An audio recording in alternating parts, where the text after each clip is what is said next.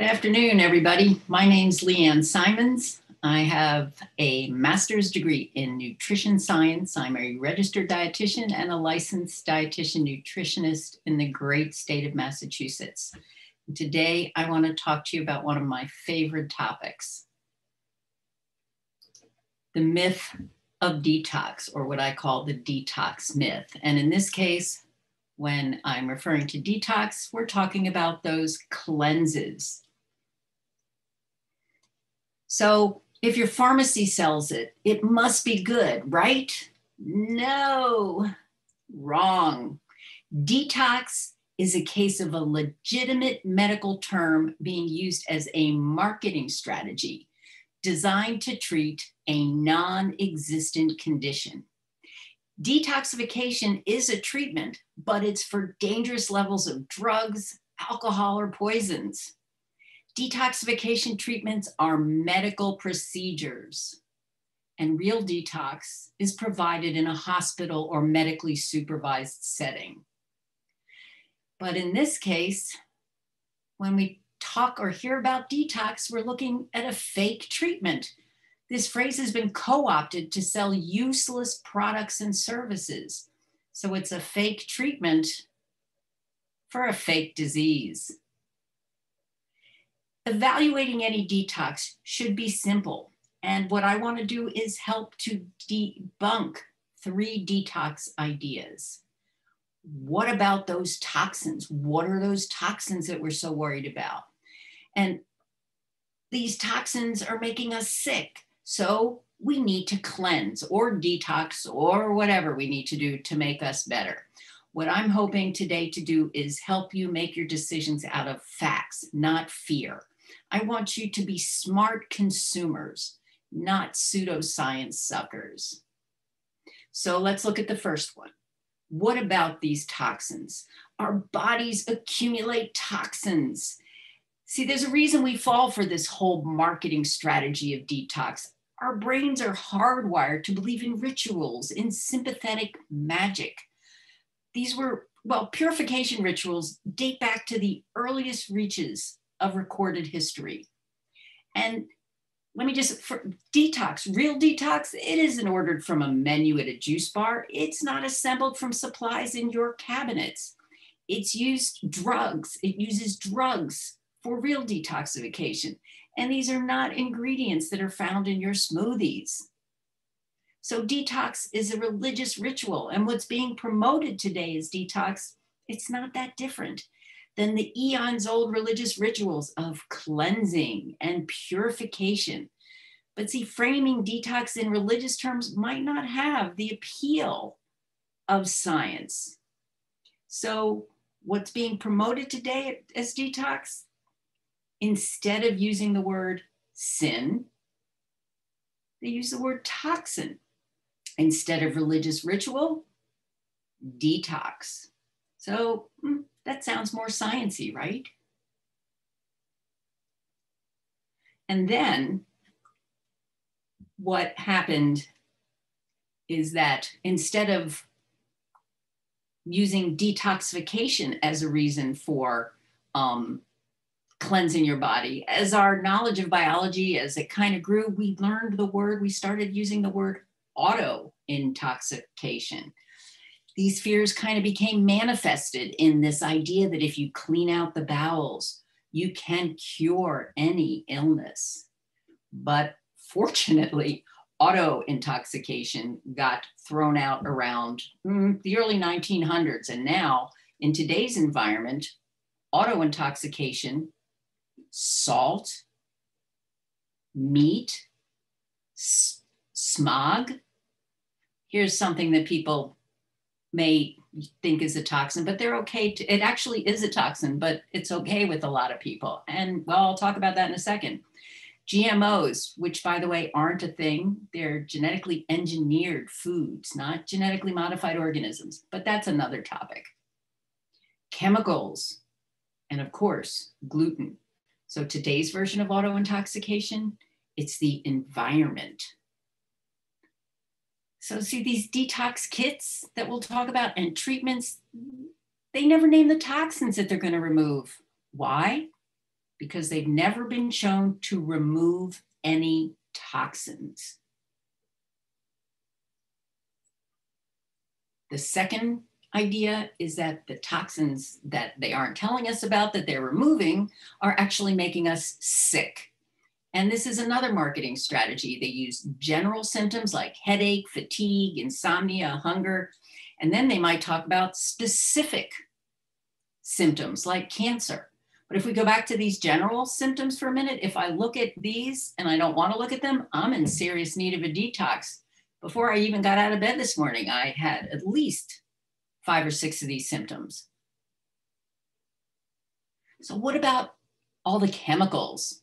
That's usually what we're worried about as detoxing us. Here's some chemicals because a lot of us feel have been told if you can't pronounce it, you shouldn't eat it. Well, these are the chemicals found in an all natural egg. And here's something I do want to talk to you about though.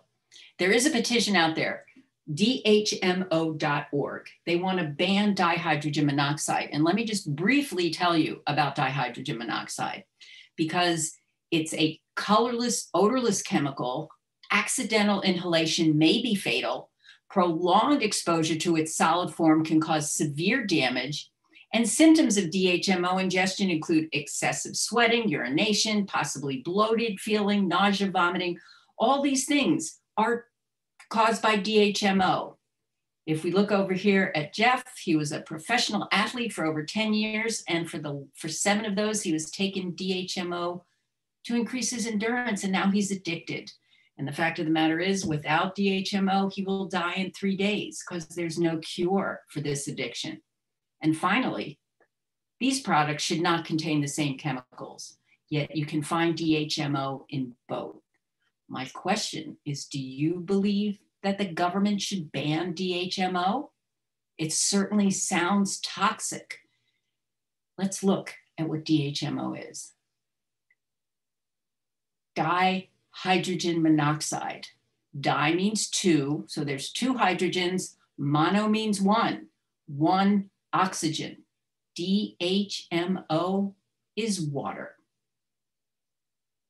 But it's true. All those things I told you about dihydrogen monoxide are true. Here's something I want you to keep in mind when you hear about toxins. All things are poison, and there is none which is not a poison. Solely the dose differentiates a poison from a remedy. Or, as my students get tired of hearing me say, it's the dose that makes the poison. So nowadays, what detoxes are based on is the idea that toxic substances, again, I don't know what those toxic substances are, but they can be removed by eating or avoiding certain foods. The most popular detoxes tend to be drinking cleansing fruit and vegetable juices. Mind you, if you want to drink fruit and vegetable juices, that's fine. Drink them because you like them, not because you think your body is a toxic waste dump that needs to be cleansed. The most popular detoxes involve these drinks, and they also avoid cutting out meat, avoiding cutting out caffeine, avoid cutting out wheat. Ah, here's one that is sold as a detox. Maybe some of you have heard of it. Suja, it's a green juice it's got 42 grams of sugar in 16 ounces. There's no iron, there's no vitamins, there's very little protein. And between seven and nine dollars, what you're getting is a bottle of juice. It's sugar water. It's not a magic key for weight loss or well being. It's cold pressed, it's organic, it makes vague promises of making you feel less gross. A three day suja juice cleanse, I can't even say it, will cost you almost $110. I can help you for a lot less than that. So my question is, what's the actual toxin? And which toxins are causing the symptoms? How do these toxins cause the disease? I can't find that information. To show that even a single chemical requires a, causes a disease requires a significant amount of research. So I ask, what's the toxin and what disease is it causing? calm down. so we need, here's the third one. We need to cleanse ourselves. We need to get rid of these toxins. We need to detox. Well, about those detoxes. Can detoxing be harmful? Well, if you eat food, and I'm a big fan of food, I'm a dietitian. I'm a big fan of food, but eat it because you like it, not because you think it's going to cleanse you. And food can be good, but these detox kits, they're unsafe, they're unregulated, they're sold as supplements. And according to the law, the government cannot regulate supplements. So what's on the label might not even be what's in the product. But here, some of the contents of these detox kits can vary. They typically contain two types of ingredients. Milk thistle, they may contain something called milk thistle. They may contain something called senna, but they sell them as detox kits. Oh, this one's 10 days. They're all different kinds of detox kits. Now, what I will say is that a one day fast for a healthy person is probably likely to be harmless and probably useless. Although the products can be expensive and that could hurt, but prolonged fasting, that can be fatal. And then there's something called chelation therapy that's often promoted by naturopaths as a way to get chemicals out of your body de- chelation therapy is used in a hospital or medically supervised setting for people who have heavy metal poisoning. But chelation therapy administered by somebody who doesn't know what they're doing can make you very ill. It can cause an electrolyte balance, it can cause an imbalance in the chemicals in your body, it can damage your organs. And the thing is that these feelings of nausea and diarrhea are often promoted as cleansing reactions. This proves that the toxins are leaving your body. No, that's not what it is. These are symptoms that are seen in hospital patients who have difficulty eating once they've been fed intravenously because they were sick. And these kinds of treatments can cause weight loss, not fat loss. There's a difference water loss and muscle loss.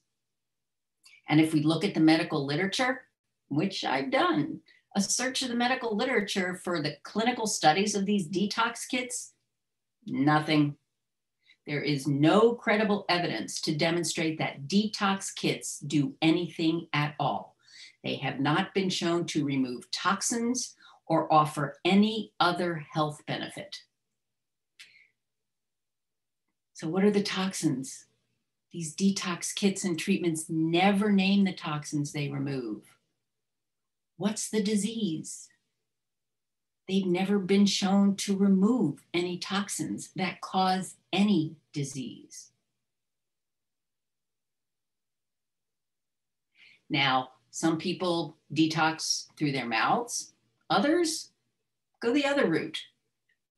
Coffee enemas, unfortunately, are popular, and these are unsafe and should be avoided at all costs. They can cause septicemia, which is when you get bacteria in your bloodstream. They can cause rectal perforation, electrolyte imbalances, and even death have been reported. But they kind of dress it up and call it colon hydrotherapy. And you see pictures. If we look at the colon on the left, it looks like it's filled to the brim with horrible toxins. And then after you flush the bowels, it's clean. And what they tell you is that those are toxins that have been removed basically you're just forcibly giving yourself diarrhea and paying somebody to do it for you. Now, the Journal of Family Practice has, well, I found this. And for people who don't like words they can't or afraid of words that they can't pronounce, case reports have noted back and pelvic abscesses after colonic hydrotherapy. I can't even pronounce all these fatal eriportia air emboli, rectal perforations. Well, I don't know if you've just eaten, so I'm not going to finish this here. But if you don't like chemical sounding ingredients, what do you think about these? And one of these things is not like the other. On the left, these are your liver and your kidneys. These are vital organs that contribute to cleansing your body every day. On the right, a subjectively tasty drink. And without it, your liver and your kidney will still cleanse your body every day. Try not to get the two confused. And then folks want to know will sweating release toxins? Will I sweat out the toxins if I should go to wherever it is people go to sweat? I'm sorry, no, absolutely not. You don't sweat out toxins. You lose water, you lose sodium, and you need to replace those or you can get very, very sick. So, what have we learned? Well, one premise was that our bodies are accumulating toxins. Mm, no. Another, these toxins are making us sick. Again, no. And the third, that we need to detox ourselves to remove these toxins. I think you know the answer to this one. No. So, how do you detox? How are you supposed to stay healthy when your life is running you ragged in these times of global pandemic. What are we supposed to do, even if it's when it's not a global pandemic? A balanced diet. Please try to be active. And for those of you that have diff- a body in motion as opposed to a body at rest, five minute walks three times a day. There's 15 minutes. You can build on that. Regular activity. Make sure your vaccinations are up to date shot. Get your physical. It's still a good idea. And please don't spend money on juice if you want it to detox you. Ah, any questions?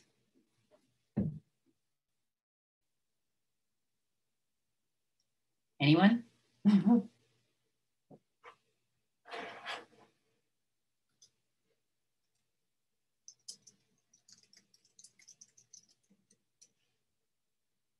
Does anybody know anyone who's ever done a detox and how it's worked and with how they felt about it or felt afterwards?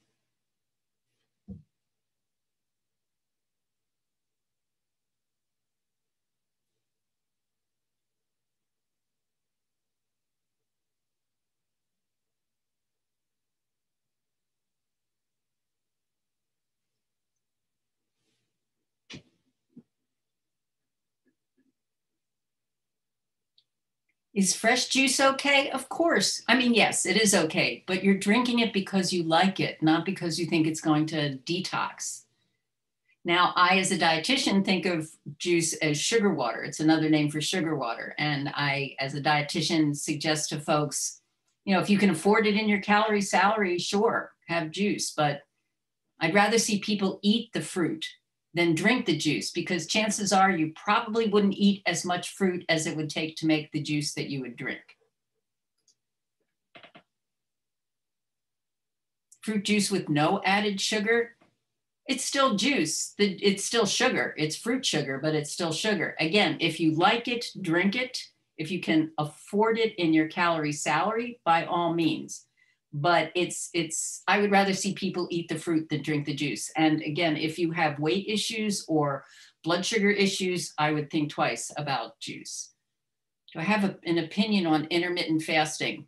That's interesting. Um, a study just came out on that that showed that certain types of intermittent fasting resulted in muscle loss as opposed to people who were doing the intermittent fasting as opposed to folks who were eating the same amount of calories but not doing intermittent fasting my opinion is if it's something that you can live with and you're getting the nutrients you need, again, this is just one study that just came out.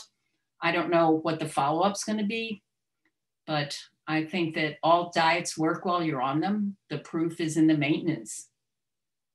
You did a three day juice cleanse and had no alarming symptoms.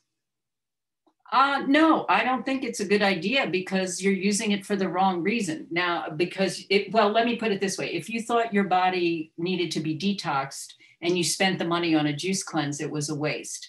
If you can, if you like the way the stuff tastes and you want to spend your money on it, that's how you want to spend your money. Um, I don't know that using juices as meal replacements are a good idea because they don't have all the nutrients that you might get in a complete meal. But again, periodically, if you're healthy, you don't have any other conditions, it shouldn't harm you. But I'm not giving you medical advice because I don't know your history. What is a reasonable weight rate? Oh, a pound a month. Well, if somebody's losing, this is this is a good question. It's another discussion on the difference between weight loss and fat loss. It's easy to lose weight. I weigh 145 pounds. If I drink a quart of water and get back on the scale, I'll weigh 147. I didn't put on two pounds of fat, I put on two pounds of weight. And you can lose weight quickly, but fat loss takes time. If you're only losing a pound a month, then that's telling me that you're making changes that you can live with. And I think that's great. Again, as long as the quality of your diet is good and you're not feeling deprived. Ooh, more questions. Oh. Any other questions? These are great questions.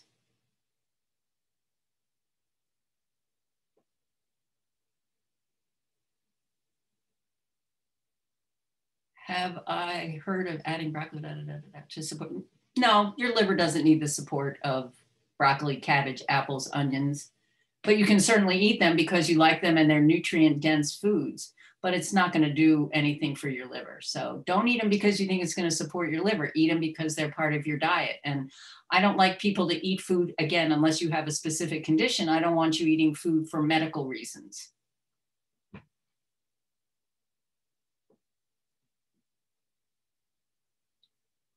What else do you have for me? Did I miss anything?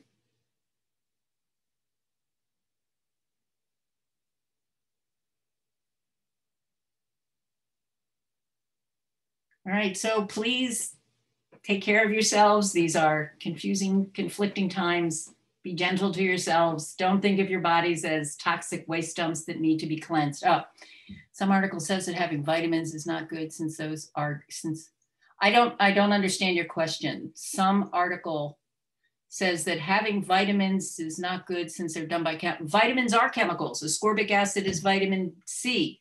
Thiamine pyrophosphate is vitamin B1. So don't be afraid of chemicals. Natural vitamins, good. I think the ones that come in a bottle are the same thing as what you get in your food. The problem is when you're getting them in a bottle, that's all you're getting. If you take calcium pills, that's all you're getting is calcium. But if you drink milk, you're getting calcium, vitamin D, magnesium, lactose, other things that help your body to absorb the calcium more efficiently. Unfortunately, some people take vitamins. Vitamins should be supplements, not food or nutrition replacements. I'm not a fan of supplements. And unless you have a specific deficiency, I don't think that they've been shown to be any good.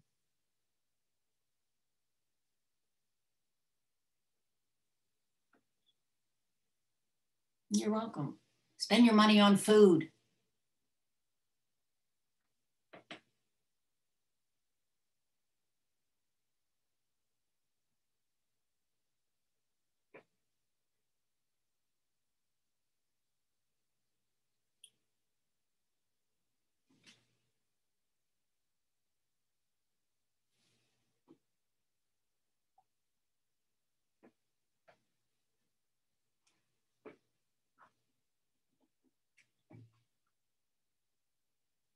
Water fasting cures illness? No. There's no fasting that cures an illness that I know of. It doesn't mean it's not out there, but I need the data to talk about that. So, no.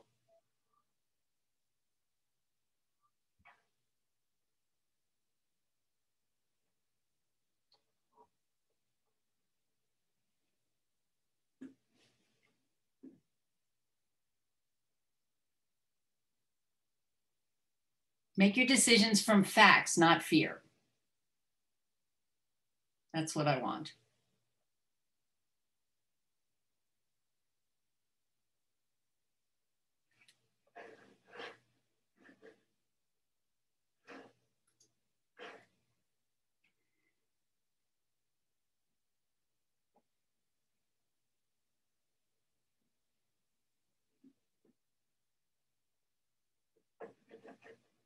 I seeing a question from, oh, uh, what would I suggest to lose weight? I would ask you to talk to a registered dietitian. I would talk about, well, the formula for losing weight is decrease calories in, increase calories out. That sounds really, that's hard. But you know what's hard is changing the behaviors that led you to overeat to begin with. If you're somebody who eats under stress and you go on a diet and you lose all kinds of weight and then you go off the diet, unless you learned how to deal with that stress once you're back in a stressful situation you'll go back to the same behaviors. So i would suggest that you work with a registered dietitian to talk about what works for you. It's not a one size fits all and you should talk to someone who can help you with your concerns. If somebody told me i could never eat oreo cookies then I wouldn't listen to them. But I have worked with folks on how to use the foods that incorporate the foods they like into a plan that they can live with. So I would encourage you to talk to a registered dietitian, to um, try walking if you like to walk. That would be a starter. There's some other questions over here. What do you have here? What are my thoughts on current clean eating trends? I don't like any of them. I don't like I think that avoiding processed foods is difficult for people who don't have money to buy fresh fruits and vegetables. Canned fruits, canned vegetables, frozen fruits, frozen vegetables, fro those are all excellent foods. All right. So people who can't afford to buy fresh foods, I'm concerned that they won't buy any. And the thing about clean eating, again, I think that that's for people who are fortunate and can afford it. I think that clean eating leads to disordered eating. And there is a condition called orthorexia where people are so hung up on only eating certain foods that they cut back on their social lives, they cut back on family, they cut back on nutrition. So I think that that's that can be very dangerous. To me, clean eating means it hasn't been on the floor for very long.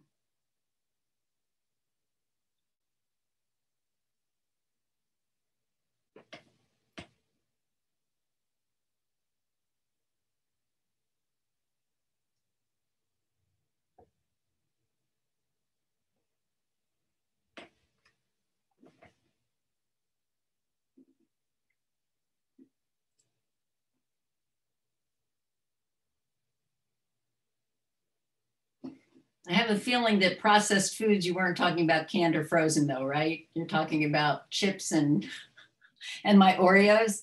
And I would go back to what I said earlier, that it's the dose that makes the poison. That it's not what you eat, it's how much you eat.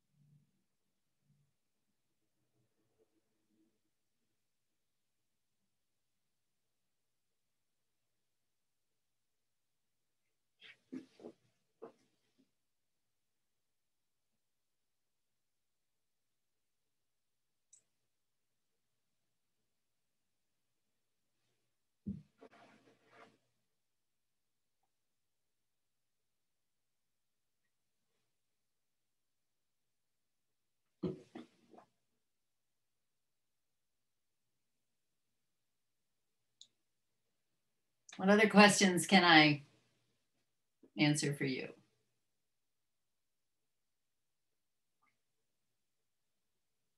What other myths can I debunk while I'm here?